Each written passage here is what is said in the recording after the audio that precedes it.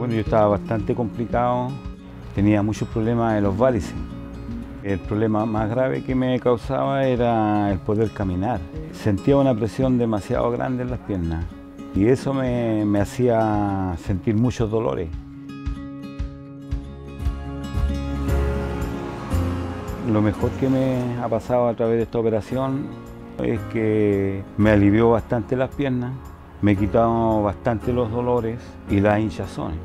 Y eso me ha dado mayor movilidad, me ha dado más energía para poder trabajar, hacer cosas.